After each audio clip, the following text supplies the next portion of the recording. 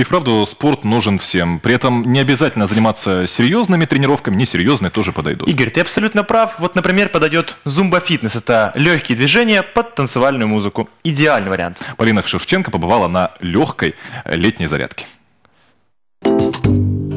Сидеть в душном офисе летом – занятие, согласитесь, не из приятных. Однако выходные никто не отменял. Даже если нет возможности уехать, к примеру, на пляж, есть шанс прекрасно провести время на свежем воздухе и в черте города. Каждую субботу с 7 до 9 вечера на прудах проводят бесплатную фитнес-зарядку «Зумба».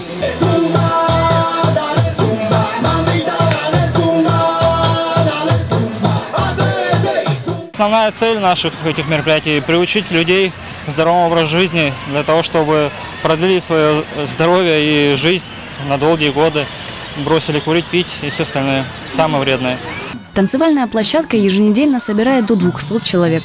Простые энергичные движения пытаются повторить и совсем маленькие, и люди в возрасте. Почему не танцуешь? Ну, просто мне как бы нравится, вот когда где-то народу мало, и можно как бы вот поэнергичнее танцы танцевать. Только подошли. Сейчас в раш еще не вошли, сейчас обязательно подключимся. Не будем танцевать. Здорово, что есть такая у людей возможность проявить свою физическую активность. Ну, плюс это музыка, это танцы, это позитив. Полезное мероприятие, то есть вместо того, чтобы где-то пиво пить, лучше прийти потанцевать, заняться спортом.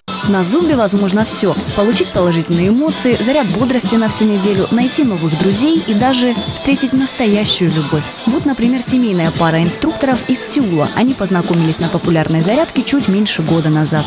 Пришла к нему на мастер-класс, там мы и познакомились, так закрутилось наше общение, и через три месяца мы объявили о помолвке.